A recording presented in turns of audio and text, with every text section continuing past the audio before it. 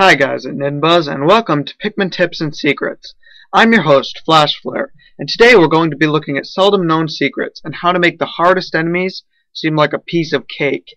So, why don't we get started? Blue Pikmin Lifeguards If you're walking along with a fair size of blue and red or yellow Pikmin, you know that walking into a puddle by accident can cause trouble. Next time, Hurl some blues in to help those Pikmin out. Blue Pikmin act as lifeguards, and if you're quick, you can save yourself some troops.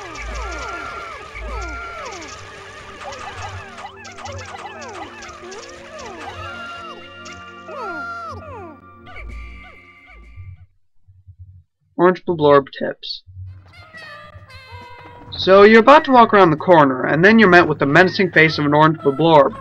Fall back and switch your purple Pikmin to the front. When you're ready,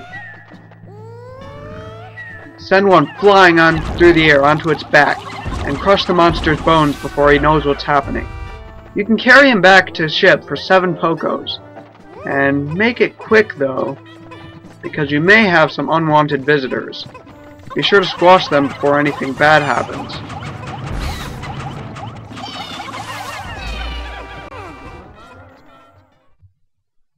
How to take down the grub dogs. You've probably seen something like this before, and nobody wants it to happen. Instead of this approach, swarm them from the back, and hopefully they'll be out before they even know what hit them. Bugs hate water. Oh no! The bugs are hard at work on your bridge again. Distract them with a small group of Pikmin and get their attention off the bridge, and once they come into the water after you, let the Pikmin fly. You can do this as many times as you want without losing a single Pikmin. The king is the easiest by far.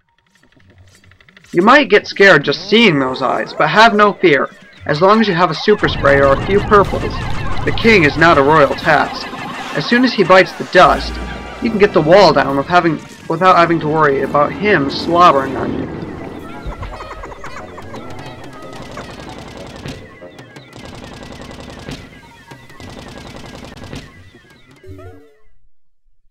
Use that C-stick for faster throws.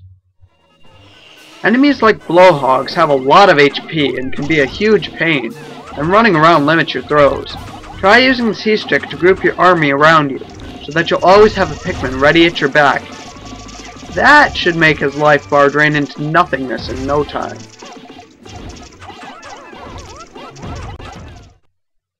How to mash the frogs. Whether you're running after a part, taking down a wall, gathering Pikmin, or just wasting time, nobody wants to come face to face with a Wollywog.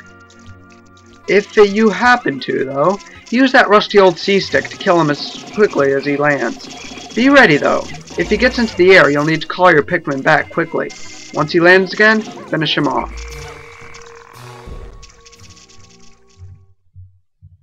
Take some time off. In the first Pikmin game, you're going to have to come back for one of the parts in the impact site when you have yellow or blue Pikmin anyway. So, why not stock up in numbers? There are lots of good places to do so, on the old logs and behind the stone wall. So, after you've snatched part, take your time collecting as many Pikmin as you want.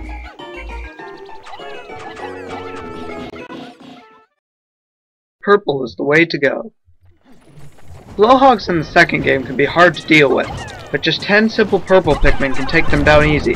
Just hurl one to weigh them down, and then strike.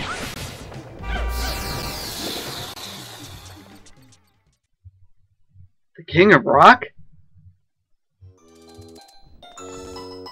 Elvis? Nope, it's Mamuta, and he loves flowers. He's got a fair amount of HP and takes a little bit to beat.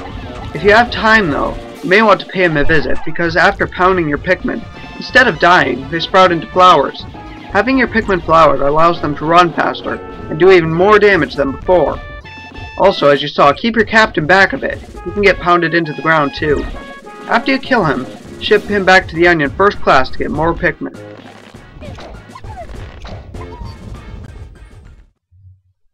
Ew, day 9 can get sticky. After getting your Pikmin to think about something other than the beetle, you may come to see a large Goolix on the stump where you found your engine. He's pretty easy to beat, but make sure you have blue Pikmin, because he'll cloak the others in a water that can only be gotten off by a tweet of your whistle. Ouch.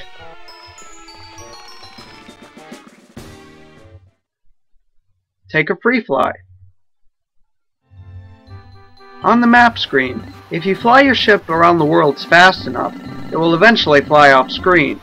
You can try to get it to never come back, but just remember what you're on this planet for. Thanks for watching this episode of Pikmin Tips and Tricks. I'm Flashflare, and I'd appreciate it if you swung by my channel with the link on the screen, or subscribe if you like my Let's Plays. I'd also like to thank Ninbuzz for being my host, and you can subscribe to them if you haven't already above. Thanks again, and I hope to be back soon with more gaming goodness. See you then.